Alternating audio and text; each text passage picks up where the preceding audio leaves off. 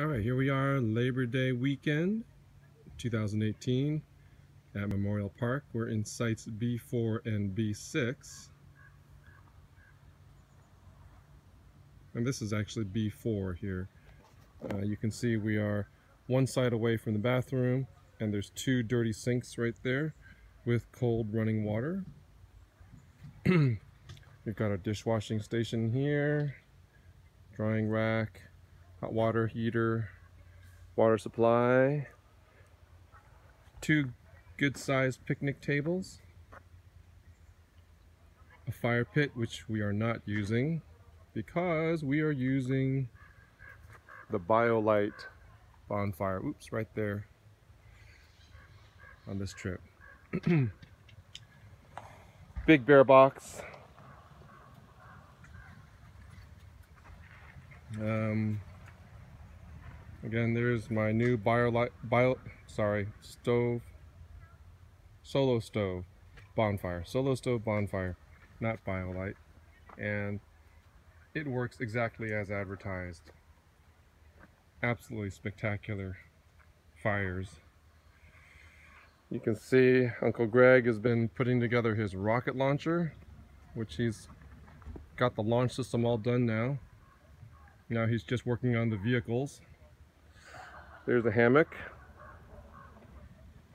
Um, there's Dad's circa 1975 white gas lantern on my vintage lantern holder. Here's my new Walmart cabinet with three shelves.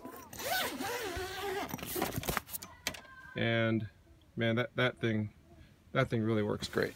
I love it. You can put all of our plates and cups and the kids can get at it. It's just awesome. And this, this tabletop is bar height, which is great. Don't have to lean over. All right, again, my hanging utensil holder and our toothbrushes are down here. And this is an REI, an old REI kitchen.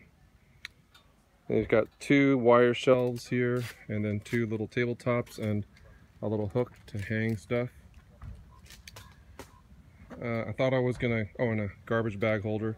I thought I was gonna sell it, but I might keep it now. Of course, my Camp Chef Pro 90 stove with a double burner and the single burner griddle. And I've got my Brunton three mantle propane lantern. I forgot what that thing's called. Let's see, is it written on there? No, it's a Brunton. It's really bright.